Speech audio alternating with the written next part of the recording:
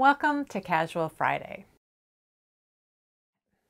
Today I'm going to talk about how the internet has enhanced our collective knitting intelligence while simultaneously creating some homogeneous thinking. First, I'm going to update you on what's been going on in my knitting life for the past week. So if you'd like to jump right to today's topic, you'll find links down in the description. So next week, April 27th to 29th, the Minnesota Knitters Guild's annual Yarnover event is happening here in the Twin Cities. And I'll be teaching two classes at Yarnover. I'm teaching a class on mock cables and I'm also teaching a class on knitting refinements, which is really sort of uh, finishing techniques that aren't uh, used when the knitting is finished. It's the stuff that goes on before you knit and while you're knitting that helps you to create uh, the best finished result in your project. So there are a few spots still left in each of those classes and I believe you can still register. If you can't register online, I think they still have walk-in registrations on the day of the event, which will be Saturday. There, there are events going on on Friday, and the monthly Minnesota Knitters Guild meeting, which is open to anyone, is on Sunday. Sally Melville will be teach will be uh, doing the program for that, and the guild meeting will be at the same location where the, the rest of Yarnover will be going on. And even if you don't want to take classes, they have a fantastic marketplace that goes on during Yarnover that's open all day Saturday. So if you're in the Twin Cities or planning on being in the Twin Cities next weekend, you might want to check that out. The second thing that I want to share with you, my friend Ron at the dog park, he's the guy who brought me some yarn back from Ireland. I made some photographer's gloves for him last year. He uh, ran up to me at the dog park the other day and said, oh, I have something in my car my, my wife wants you to have. And uh, she's a knitter, but I think she's sort of an on again, off again knitter. But her sister, who lives in Massachusetts, had given her four hanks of this yarn, and she she found it itchy. Like she she she didn't like the way it felt, and she didn't couldn't didn't want to use it. And so she thought maybe I would want to use it. And uh, what it is, it's four hanks of it, and it's a worsted weight yarn. It's a natural color wool, sort of um, a light brown, and it's from the Nantic Community Organic Farm. And apparently, this yarn was spun in Harmony, Maine, using the Bartlett spinning mule the last operating mule in the US. So I didn't know what a spinning mule was, but I had heard of Bartlett yarns before. So I, uh, I went online just to, to see if I could figure out what it was. I found a little video that showed it. And from what I gather, I'm not a spinner and I don't know anything really about mills. Um, but from what I gather, the, the spinning mule aims to simulate the movements of a hand spinner in the way it draws the, the fibers out. And it does this, it has like a ton of spindles. And so it's spinning a bunch of them at one time, but it, it has them all on this rack that kind of moves forward and backwards um, as it's spinning the yarn. And I don't know if that was the standard method of spinning yarn 100 years ago when this uh, mule was first put into place, or if it was uh, a different method. I, I don't really know much about the history of spinning mules, but apparently it's not a technique or a piece of machinery that's used nowadays. Um, so that's interesting. And I don't know if they do tours if you're out in Maine or something, if, if, if you can do tours of Bartlett yarns. I think that would be something I would be interested in doing someday. So, so it doesn't say, I looked on their website, I couldn't find anything about what kind of sheep this came from. So I've been collecting different cheap breed yarns lately with this idea that I was going to be doing swatching and comparing them and learning something about different breeds. Uh, I don't know what breed this is, but, and I'm like, I have four hanks of it. What am I going to knit? And it's not something I'd want up against my neck. It's a rustic yarn. It's not enough to make a sweater. And I've been buying these single skeins of different wools thinking, well, that's my project is just you know, a swatch with this breed so that I can learn more about it and, and in the future would know um, when to use it if I wanted to make a project that would be suitable for it. So all of the yarns I've gotten so far are worsted weight And so what I'm thinking is coming up with some sort of standard square that I can knit, because they're all worsted weight, that I can knit with these yarns in order to test them. It will test with texture and we'll test with cables and things like that. And so my thought is then that I can combine all of these into some sort of blanket over time. just be a long-term project where I knit a square and attach it uh, or knit a strip and attach it in some way. Um, I haven't come up quite yet with what exactly I want to do and I want it to be something that will be interesting to me and something that I can uh, make the same size every time without having to uh, swatch and reswatch in order to, to make that work. But that's my idea is that I will actually turn these, these different wools into a blanket. And I, I'm trying to figure out a way to to indicate in the square what the wool is so that I have a memory of it in, instead of you know, some point in the future, well, here's a blanket, a bunch of different wools. I don't know which is which. I want to be able to remember. So either knitting in um, BFL for Blue Face Leicester or what is this? NCO for Nantic Community Organic Farm, something like that. Something that will help me remember uh, what where I got these wools and, and what breeds they are if I know the breed. So last week's Casual Friday video on multicolor knitting really um, struck a nerve with people. Uh, I, I, got a lot of comments uh, asking me if I had seen Arne and Carlos's videos on color dominance. And because Arne and Carlos apparently say that there is no color dominance in Norwegian knitting. Well, I'd seen some of their videos before, but not any of these specific ones that people were talking about. So I did spend some time last weekend looking at several of their videos where they talk about Norwegian knitting and where they're talking about color dominance and, and how they handle the yarns and what is considered good technique within the, within the context of Norwegian knitting. So I think it's important to understand the context in which uh, they're talking about color dominance. They're talking about their experience in the tradition that they um, live in, which is Norwegian knitting, which has certain specifications or certain desired outcomes and certain types of motifs and uses of color that are different from other techniques that also employ stranded color work. To them, color dominance, which I would actually refer to as yarn dominance, to them it's it appears to be a, a tension issue, and they work to show you how you can uh, knit comfortably and in a style that will work for you and achieve really good tension with Norwegian knitting. And one of the things that they talk about is that this idea of parallel floats is not something that uh, that that they at least have experienced in Norwegian knitting and that it's not important that you can twist the yarns. And they they show different ways of if the yarns get too tw twisted how you can work by twisting them in the opposite direction for a while. So really what they're talking about is using uh, rotating floats.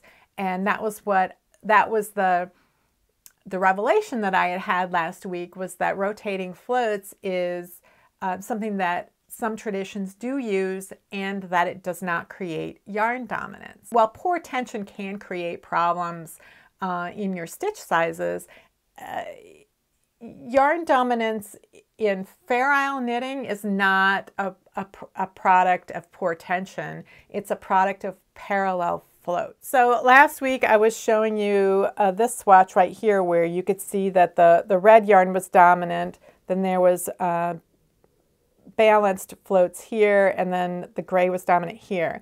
And what I had done here was I had worked in parallel floats where the red is dominant and the gray is dominant. And I had I had worked with one yarn in each hand, uh, and the left yarn was the one that was holding the dominant color. Now my husband was talking to me later and saying, "Well, you haven't really proved your point that um, parallel floats cause dominance because you held the dominant yarn in your left hand both times, and if you have looser tension, that that's you know just proving their point. And um, I said, no, no, they're parallel. I'll prove it. I'll prove that the parallel floats are the, are the cause. So I knit another swatch right here, and in this one, I used green and blue, and in each case, the green is dominant and the blue is not. On the bottom swatch, I knit with one yarn in each hand.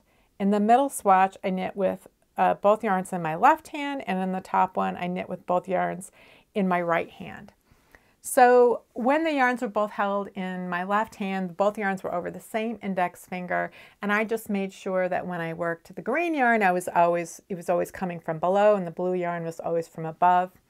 And then when I held both yarns in my right hand, I always made sure again that the blue yarn was being carried above and the green yarn was was below. And it's it's that parallel nature that causes the yarn dominance. Now, Arne and Carlos were very careful to say in the comments within their videos when people were questioning about this that they were not making any comments about other knitting traditions because what they are familiar with and what their tradition is is Norwegian knitting. So they're talking about what is true within the context of their knitting tradition. And what I was um, talking about last week was that this idea that the parallel floats is the way to work it, that the English language uh, books and a lot of the teaching is this idea of parallel floats is what you want.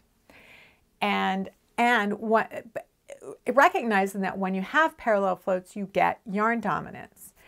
And so Arne and Carlos was like, oh, you don't want to have to worry about that. You just work them, work them however, and then if there's no dominance, then you don't have to worry about it. And they're right within the context of Norwegian knitting. So I just want to show you, this is a book from, uh, this is a book called Traditional Fair Isle Knitting. So here, here are some charts from this book. So the charts are made up of just black dots on in white squares. So that's the pattern that you would work with. Within Fair Isle knitting, you're only working with two colors in any row, just like with Norwegian knitting. With Norwegian knitting, overwhelmingly, the patterns are either a white background with some kind of dark color pattern on top of it, or a dark background with a white or light colored um, pattern on it. So not only are you only working with two colors in any given round, in most cases, you're only working with two colors for the entire project. So following a, a, design that is black dots on white squares uh, is going to be obvious. You're not going to have any trouble keeping track of which yarn you're using to create that pattern regardless of whether it's above or below you're twisting it or whatever there's no there's no issue with that fair isle knitting has a different tradition and that is and here's an example I don't know how well you can see that. Um, but you'll see that the background color and the foreground colors are changing within the course of the entire motif. So that's when, and if you're following a pattern that's black dots on a white background, you need to be able to keep track of which one is creating the pattern and which one is the background. So and then the and, and the other aspect of Fair Isle knitting is you never have more than five consecutive stitches in the same color. So you don't have any need to trap floats ever. So within that context, that narrow subset of stranded color work, um, which is Fair Isle, true Fair Isle knitting, parallel floats make an incredible amount of sense because you can always, you always know that your upper yarn, whether you have yarn in, in, one in each hand or both yarns in the same hand. The upper yarn is always the background and the lower ground is always the foreground. And you know that the foreground is going to have dom dominance. That's why, that's why you organize them in that way, because you want the pattern to show up. So within that, the context of Fair knitting, it makes a lot of sense to use parallel floats to recognize that there's yarn dominance and use that in your favor.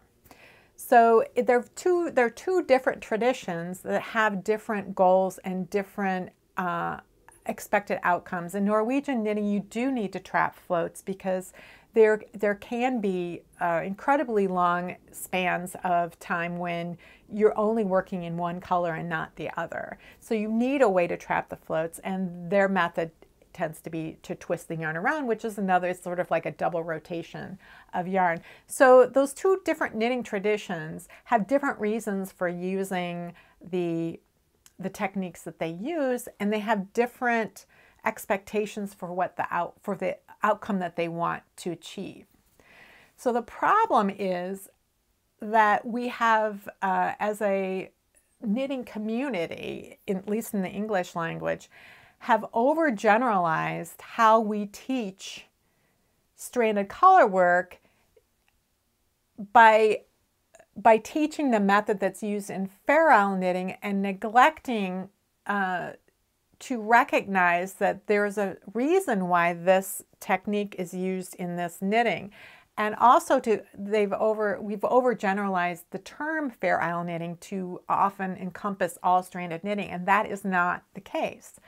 So I think it's important to understand that there's two different traditions that have two different goals. And then when you throw in that Latvian uh, knitting tradition, which can throw five, six colors in one round, then you start to realize, okay, they have to have, you know, different traditions need different methods of managing the yarn, and none of them is is necessarily the best way to work overall. You cannot you cannot generalize that this one method of working a strand of color work is the right method in all cases because it's not. So I've been thinking about this this I, this ideal of generalization, and I think it's something that humans do. I think it's probably a survival trait where you you used you know your the your your previous experiences to inform you about what you are going to do in this experience and the fewer experiences that you have the more you're apt to overgeneralize.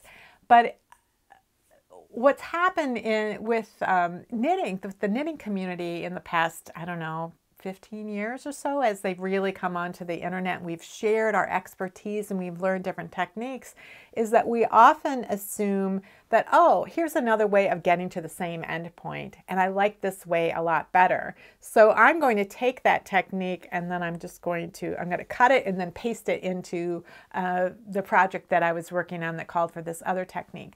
Sometimes that works just fine and sometimes it doesn't sometimes you need to make an adjustment in order to accommodate a different technique that will get you to the same endpoint. So a, a, really easy way of understanding this is if you have ever worked increases in a pattern, you know that a make one increase occurs between two stitches while a knit front back uh, is created in the process of knitting a stitch. So you can't just say, you can't just take the instructions that call for using a knit front back and then just replace them. Make one without making an adjustment to how many stitches you work prior to working an increase. I did a video on, on this uh, a few weeks back that I'll link to up at the top. And I, you know, I've seen this with uh, different short row techniques as well, like German short rows. People really like German short rows and they, when they're trying to make a substitution, they often mistake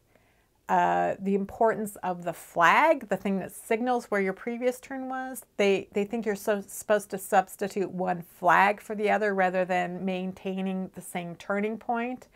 And different techniques place the flag in different locations, so that can cause confusion. And the number of stitches that you work before you turn versus um, the number of stitches you work past the previous turn before you turn again, all of that needs to be adjusted. It isn't just a, oh, I'll take that technique and and use it in this other place. So that's another place that we tend to overgeneralize. But a lot of times we're just not aware of of all of the possibilities. We'll notice that, oh, this technique works really well for me. I'm going to tell everybody they should use this technique without recognizing that the reason the technique works so well for you is because of the way you handle the yarn and needles.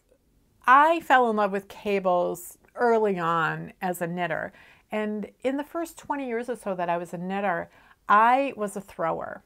And most of the patterns that I knit were flat and then seamed. I mostly knit sweaters. And uh, the way I knit was I had very long needles, like I had, you know, these 14 inch long needles like this, and I would anchor it at the junction of my hip and thigh so it was pointing straight up.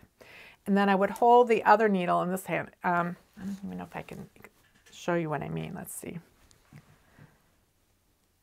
Can even see this. So, so if I have the, the needle right here, I'm not holding on to it, I'm touching it the other work would be hanging from here and I would just hold the needle. I wouldn't hold it in my hand. I would just touch it. But I would mount the stitches onto my right hand needle. I would knit with, you know, I'd throw the yarn. And so I was, it was kind of like a sewing machine in a way. It was like going up and down like this. So when I was using a cable needle, I preferred a four inch straight metal slick needle and I would slip the stitches on there and I would I would hold the cable needle I, I keep a finger between the regular needle and the cable needle so they're being held in parallel and then I would just knit off whichever needle I needed to knit off. So the only disruption in how quickly I was knitting was in just getting those stitches onto the cable needle it was it was just not that much slower than just a regular row of knitting. So I always found that very um, very easy to knit. So when people when I started hearing people talk about knitting without a cable needle, I didn't understand. You know, I I I I didn't understand why they would want to do that because I didn't I didn't find it particularly slow to to use a cable needle. And then I decided, oh, it's.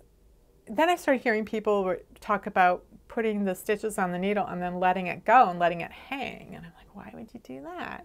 And you know, so they were using either the U hooks or the J hooks or the bird wing ones, and they would let it hang, and then they would knit, and then they would um, pull it back up. So I, am like, oh, maybe that's that's what's slowing them down. I started wanting, I wanted to knit socks. I wanted to do more knitting in the round, and the problem with that was that my knitting style relied on long needles that were anchored.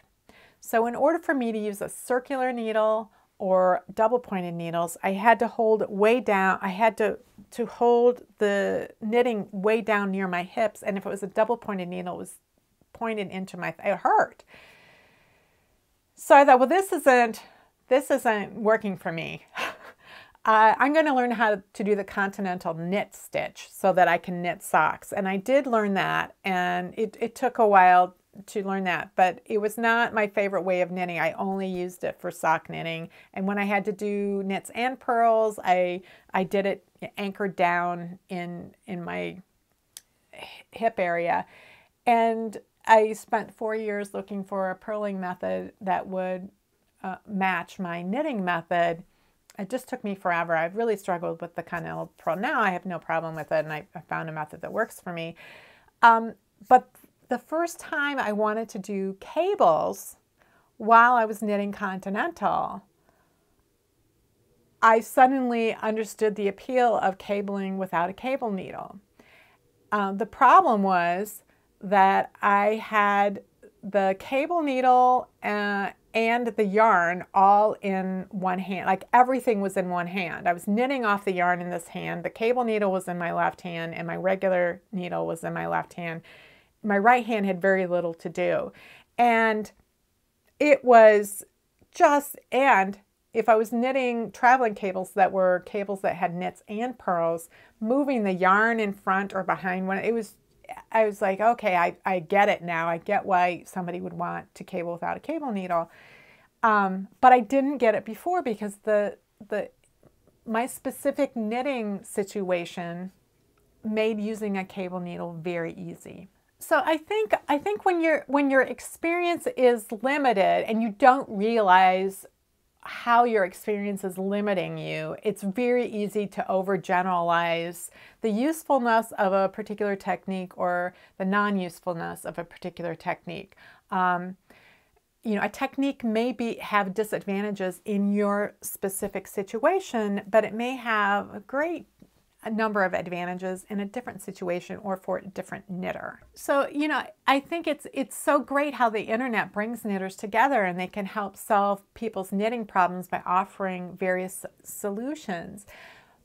But what's what is really interesting to me is how a particular thought or opinion or technique or whatever begins to dominate and become known as the true one way of doing something.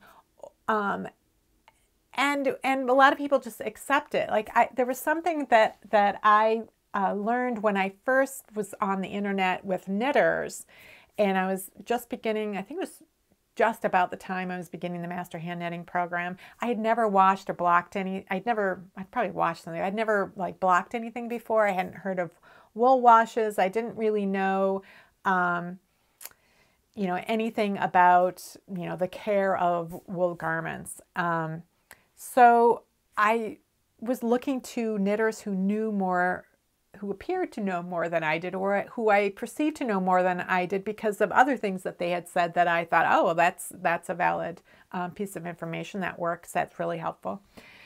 And that piece of information was uh, woolite is the worst thing you could ever use to, to wash your wool garments. And I was like, oh, really? Why is that? Why is that? and the reason that was given was that well, when it was first created back in the 50s, it was gentle compared to, you know, lye and bleach and other things that people had available to them.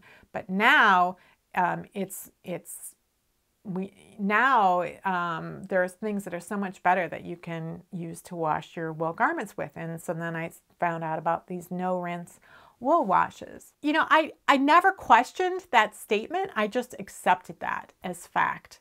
And uh, and I began using no rinse wool washes. And it wasn't until I wanted to over dye um, this old Aran sweater like 10 years ago that, and the wool washes, you know, weren't getting this uh, sweater that was dirty. I was dyeing it because I had stains on it.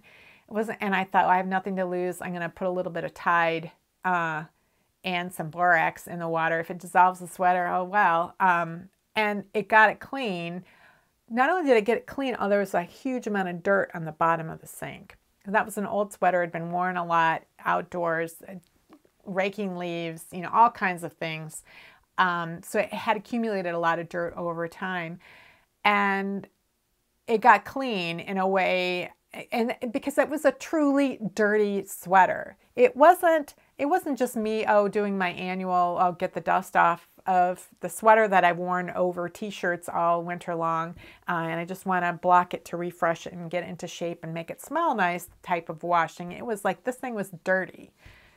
And so I started thinking about this recently when I went went to over dye the sweater a second time. I started to question um, the advice that that we as knitters hand to each other about what the correct thing is to wash our woolen garments with. And I really wondered, first of all, if it was true about woolite.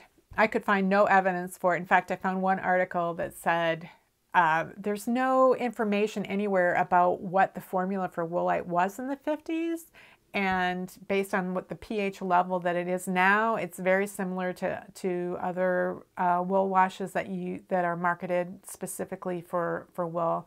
And and then I started really looking into well what is safe to wash wool with and and what are people recommending? And you know one of the things people say oh I use shampoo and and um, oh you're gonna use shampoo. You should use baby shampoo because that's that's gentler. So I started looking into baby shampoos and the, reason baby shampoos are gentle is because they use a different set of um, I, I don't know if it's surfactants they use different ones um, than are used in shampoos that adults use. And the reason they use different ones is because the ones adults use sting your eyes and the ones that baby, the ones for babies doesn't sting your eyes. Um, and that that's the goal in a baby shampoo is, is to have it not sting the baby's eyes.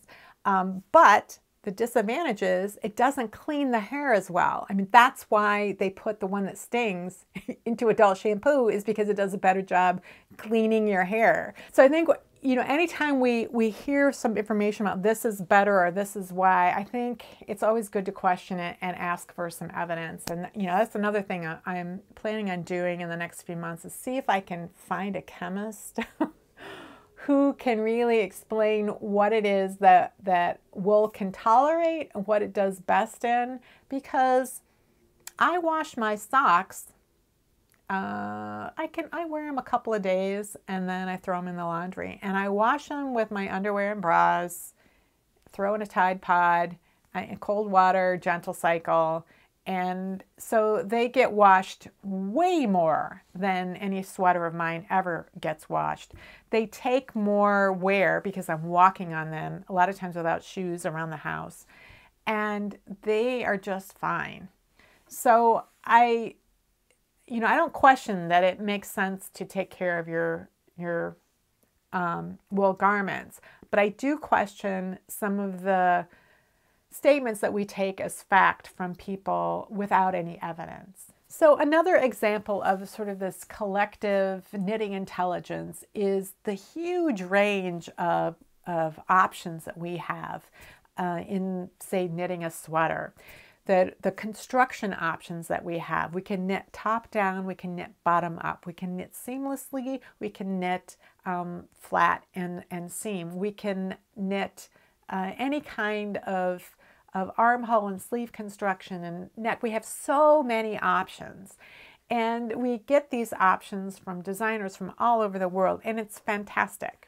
But for some reason, one particular construction method will, will catch on and it will get labeled as better or um, easier or some other label that is really it's not that's not true I, have never really been quite sure what it is that causes uh, this this collective belief that a particular uh, knitting construction is better. I mean, I understand liking one more than another, but but this this idea that say toe up socks is is somehow better than cuff down socks, I, I've never understood that.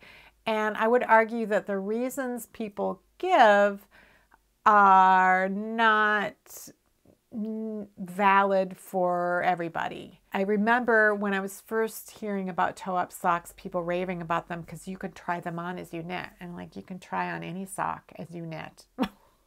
that that's that's not an advantage of a toe up sock. Then there was also the idea that oh, you can keep knitting until you run out of yarn, and I'm like, I always have, I knit my sock leg as long as I need it to be, seven inches long, and I always have 25 grams of sock yarn left at the end. So I wouldn't want to knit my sock any longer than it is. So that was an advantage for me.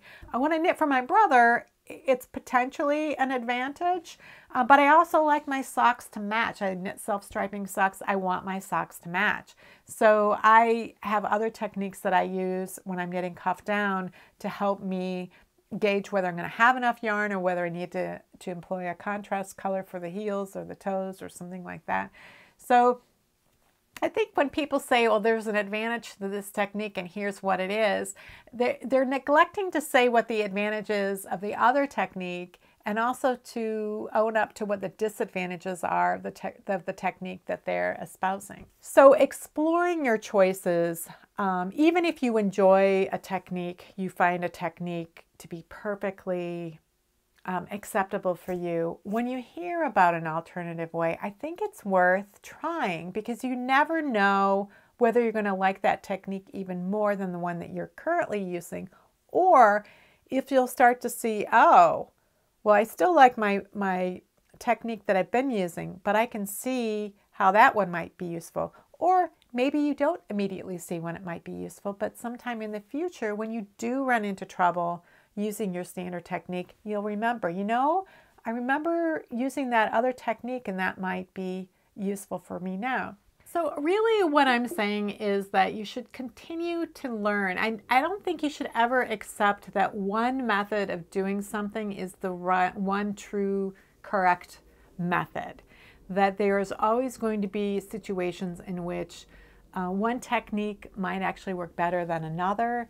Um, a technique that you typically really despise using might end up being very useful in a specific situation. So if you keep your mind open to other possibilities and try things out, even if you don't think you're going to like them, uh, you never know what you're going to end up really holding on to and thinking, oh, I really like this, and then what that will lead to and what that will lead to after that. And I, I try to keep that open mind when it comes to um, project types, project construction methods, um, trying different ones to see uh, whether I like this method in general or whether I would want to use it in specific circumstances. Consulting the collective knitting intelligence is a great thing that we it's wonderful that we have access to knitters all over the world who can offer us solutions to knitting problems that we don't know how to solve. But I think it's also important to keep in mind that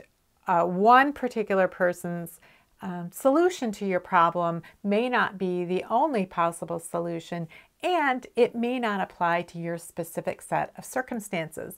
So keep your mind open. Uh, constantly look for other paths to get you to the same endpoint, and then experiment yourself with what works for you. That's it for this week's Casual Friday. Thanks for watching.